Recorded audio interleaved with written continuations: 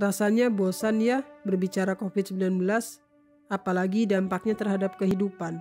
Seluruh aspek-aspek kehidupan terkena akibatnya, dari pendidikan hingga ekonomi. COVID-19 membuat UMKM-UMKM harus memutar otaknya agar usahanya tidak ikut berguguran. Dengan berdarah-darah, UMKM Indonesia terus berusaha agar tetap bertahan, sebab mereka adalah salah satu tumpuan ekonomi bangsa Indonesia.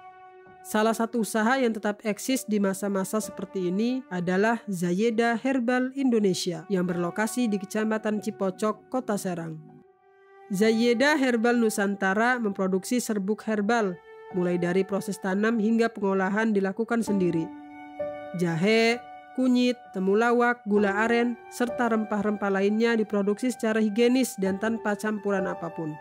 Nah waktu corona mulai bulan Februari, mulai Februari kan kita corona ya, mulai ada pandemi COVID itu, COVID-19, uh, Februari Maret itu justru omset saya paling bagus di masa-masa awal pandemi. Karena memang uh, sudah terbukti sampai sekarang pun masih banyak perawat rumah sakit COVID yang mengkonsumsi jahe merah buat imun tubuhnya. Uh, bolehlah sekarang-sekarang ini kita cari tambahan penghasilan untuk menjual produk lain. Misalnya kalau biasanya jualan bakso ya boleh jualan jahe merah. Kan hanya posting kita ada ada linknya gitu ya. Cuma posting di status WA dan sebagainya. Atau membuat produk yang uh, misalkan nih misalkan dia fashion. Ya beralihlah ke masker gitu ya.